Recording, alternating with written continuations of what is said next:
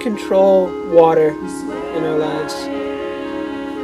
It comes through the pipes and into our bathtubs and into our sinks and into our cups. Life is about control, and what happens when we lose that control and we're simply floating? Hi, my name's Colin Ian Elliot, and this is my art. This is my trailer, and this is where I currently live.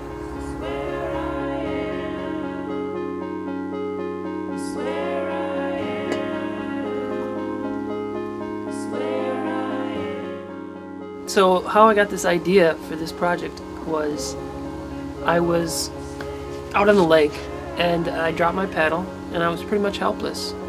I felt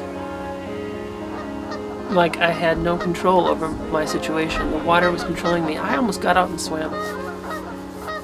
But luckily I got close enough to my paddle to where I picked it up. But what if we release that control intentionally and some honkers out there. Won't be needing this. This liquid is contained within this jar. That liquid is not. That's what I love about this lake. It's all part of the process. Nothing you can do about it. Just one obstacle. Vast ocean of obstacles.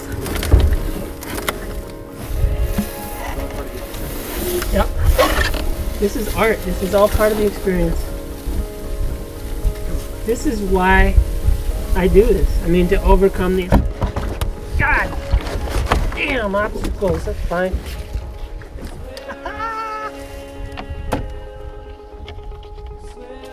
and there's an eagle. Bald eagle.